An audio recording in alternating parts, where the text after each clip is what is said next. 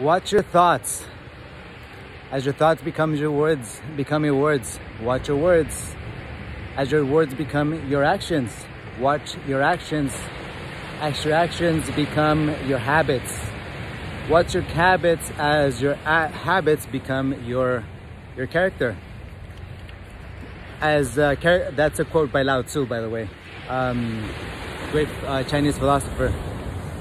Uh, beautiful quote. One of the quotes that got me thinking the most was that one, considering uh, the law of attraction, and the law of what we do and how we manifest and become the character of the person that we become.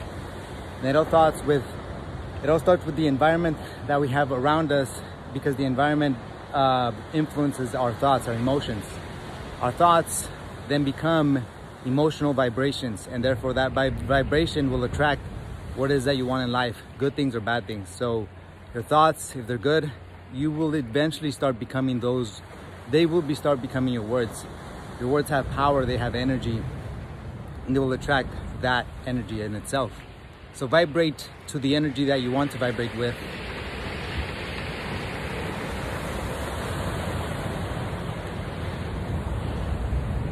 Have a blessed day. Happy Tuesday.